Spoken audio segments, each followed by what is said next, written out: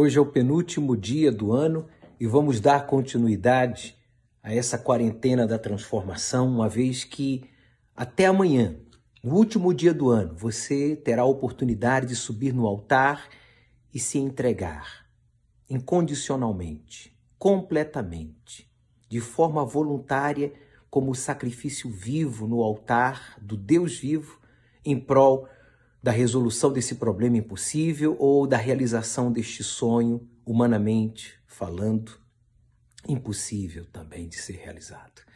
Mas como o Deus do Monte Sinai é o Deus dos impossíveis, então, por meio da nossa entrega, por meio do nosso sacrifício, Deus se manifestará e ficará em evidência na vida daqueles que vão se entregar. No capítulo 4, no versículo 27, disse o Senhor a Arão, o irmão de Moisés, que era escravo, que estava no Egito: Vai ao deserto, ao encontro de Moisés. E ele foi e encontrou no monte de Deus e beijou.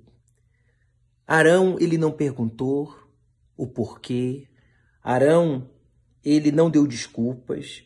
Arão simplesmente ouviu e obedeceu saiu do Egito, não sabemos como, mas certamente escondido, foragido, foi ao deserto, guiado pelo Espírito de Deus e encontrou seu irmão ali, justamente no monte de Deus.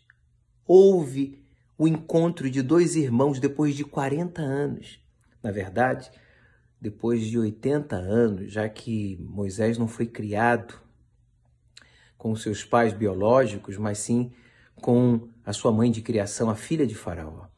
E depois, aos 40 anos, teve que fugir do Egito porque foi condenado de morte, à morte pela sua família de criação e foi rejeitado pelos hebreus que disseram: Quem te constituiu como rei ou príncipe sobre nós? Arão foi, obedeceu e ali no monte de Deus o encontrou e diz o texto: e beijou. Quer dizer, quando a gente vai para o altar, Deus faz com que haja reconciliação, com que a família se una.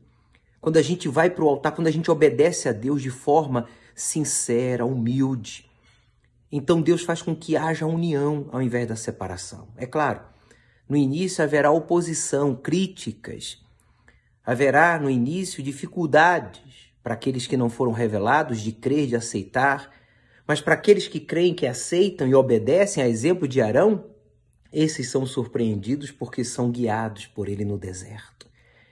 Deus quer guiar você neste novo ano que iniciaremos em poucas horas. Deus ele quer fazer com que haja reconciliação entre você e os seus pais e os seus irmãos e os seus filhos, entre você, a sua família, a família da sua esposa e vice-versa. O lugar da reconciliação, do encontro, é o monte de Deus, está aqui, ó. versículo 27. Ao, diz aqui, ao encontro do teu irmão, e foi o encontrou no monte de Deus. O Monte Sinai é o monte de Deus, é por isso que nós vamos. Eu vou viajar 11 mil quilômetros, 11.200 quilômetros até a Arábia Saudita. São 18 horas de viagem. Depois nós temos mais três horas da fronteira até o pé do monte. E depois teremos mais cinco horas de escalada, sem trilha. E nessa época do ano faz muito frio, máximo de quatro e mínimas de três abaixo de zero. É um sacrifício para todos nós bispos, é um grande sacrifício. Para todos nós que já passamos dos 45, uns estão 47 como eu, outros já estão na casa dos 50, outros estão na casa dos 60, outros estão na casa dos 70, exemplo do Bispo Macedo, mas nós vamos. Vamos com a fé, vamos com a coragem, vamos com a confiança de que Deus proverá. E cada passo que nós estivermos dando em direção ao topo do monte será uma resposta de Deus para aqueles que vão subir o altar ainda nesse último dia do ano, amanhã, para apresentar o seu sacrifício. Se você diz, bispo, não tenho paz, eu, eu subi no altar, mas eu não estou com certeza de que eu fiz tudo que estava ao meu alcance. Você ainda tem tempo de entregar o seu pedido, o seu sacrifício. E caso você diga, bispo, eu não estou em paz porque eu não consegui a vender ou sacrificar aquilo que eu prometi, mas você deve ficar em paz, tranquilo. Por quê? Porque se você está obedecendo o que a fé lhe pediu, depois, quando você tem em mãos o seu sacrifício, você cumpre com o seu voto, seja ainda este ano ou no ano que vem. O que importa é que você deixe o seu pedido no altar até a virada do ano, para que a gente possa levar ao Monte Sinai. E diz o texto sagrado mais ao respeito. E relatou Moisés a Arão todas as palavras do Senhor com que o enviara e todos os sinais que lhe mandara. Então Moisés deu testemunho para o seu irmão mais velho. Falou do que Deus lhe havia falado e falou também dos sinais e todos os sinais que lhe mandara fazer. E Arão creu. Creia, meu amigo. Creia que os seus familiares um dia verão em você um exemplo a ser seguido. Seja você o irmão mais novo ou o irmão mais velho. Não importa.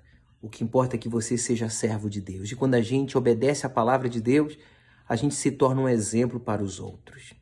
Neste domingo, que vai ser o primeiro domingo do ano, eu quero lembrar vocês que nós estaremos realizando um evento muito especial. Você vai trazer uma garrafinha com água, porque o primeiro milagre que o Senhor Jesus realizou foi a transformação da água para o vinho. Foi na família, foi no casamento. O vinho é símbolo de alegria, de prosperidade e de felicidade. E Deus, Jesus, transformou a água em vinho. Ele quer transformar a sua vida e a sua família através de você.